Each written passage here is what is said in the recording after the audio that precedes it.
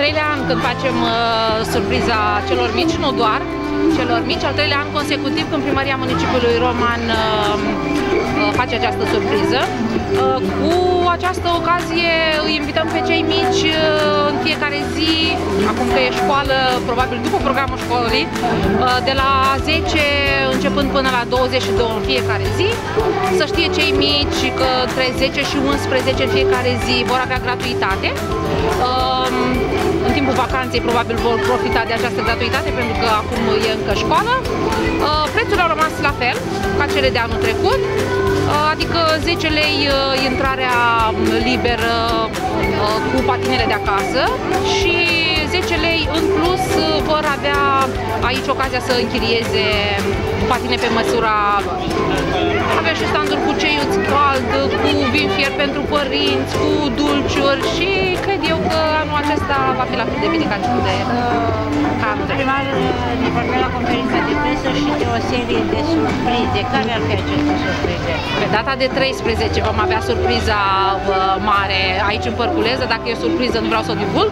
Pe data de 13 seara, pe seară, o să vă invităm să fiți alături de noi atunci când sperăm noi să vă surprindem plăcut. Și în rest, bineînțeles, toate activitățile ce țin de sărbătorile de iarnă. Printr-un protocol cu firma Biobeti de la București, primăria a încheiat acest parteneriat pentru montarea patinoarului. Vorbiți-ne un pic care este contribuția primăriei, care este cea a firmei colaboratoare. Din, noi le asigurăm partea de utilități celor care au venit și au închiriat de la noi, dar un procent destul de mare, adică peste 50% din profitul lor, se va duce către activitățile de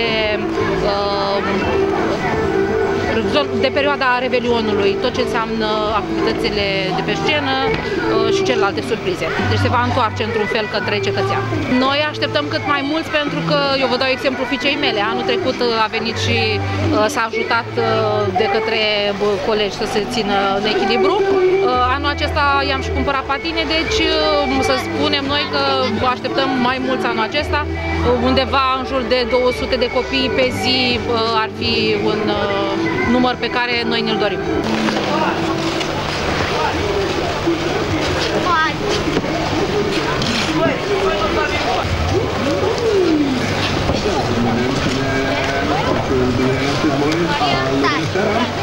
Bună seara!